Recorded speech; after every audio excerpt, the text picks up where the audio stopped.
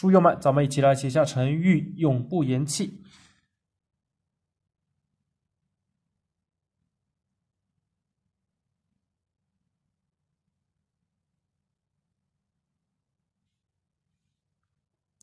勾起来的时候呢是比较重的，那么这个转折比较重的，这个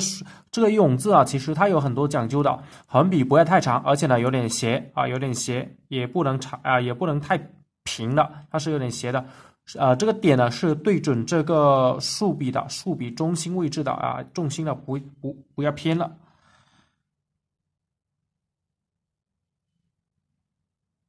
撇笔呢可以不用接住，那么这边呢要偏高一点。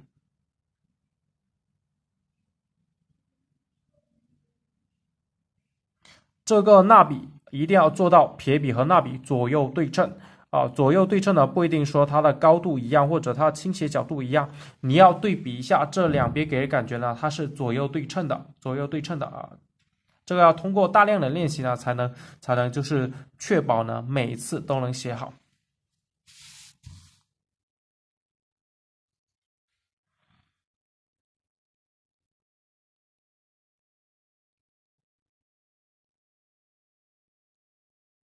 撇笔下来的时候呢，一定要稳一点，一定要稳一点。那么竖笔对准正中间，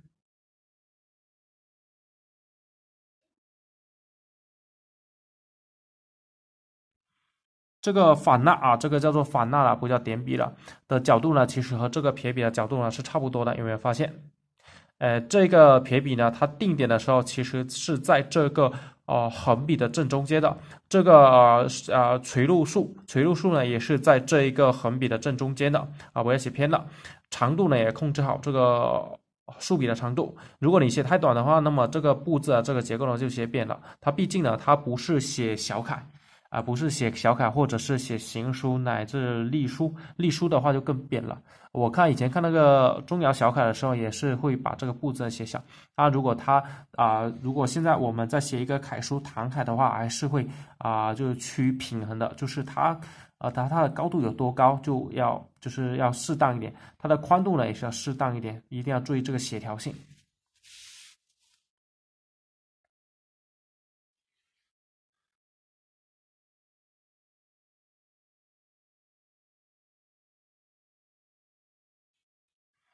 收笔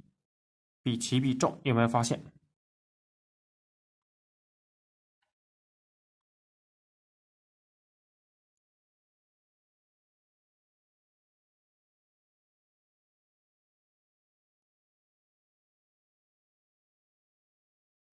这里重啊，这个这里呢，这里呢突出，这边呢也是突出。而且呢，这个收笔的时候呢，会重一点，比起笔重很多，是吧？就是为了保证这个颜色这种平衡性，口字呢不要写偏了。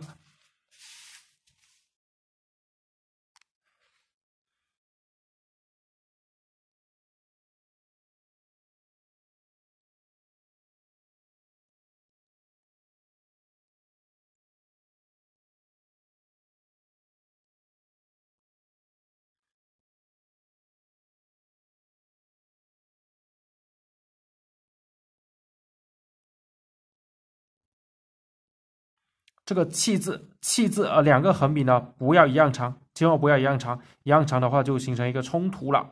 而且呢，这个竖笔呢它比较直，比这边呢还要偏下一点，上下关系呢是很明了的啊。撇笔和竖笔呢也不能分得太开啊，它有一个宽度，也不能形成，也不能太窄了啊。这个适度呢，我反正在书法里面一直强调的，需要通过练习才能找到感觉的，有时候一两句说不清楚啊，只能这么说。啊，永不言弃呢？我们对这几个字呢，我们就写到这里。感谢大家的收看，下期呢，我们再见。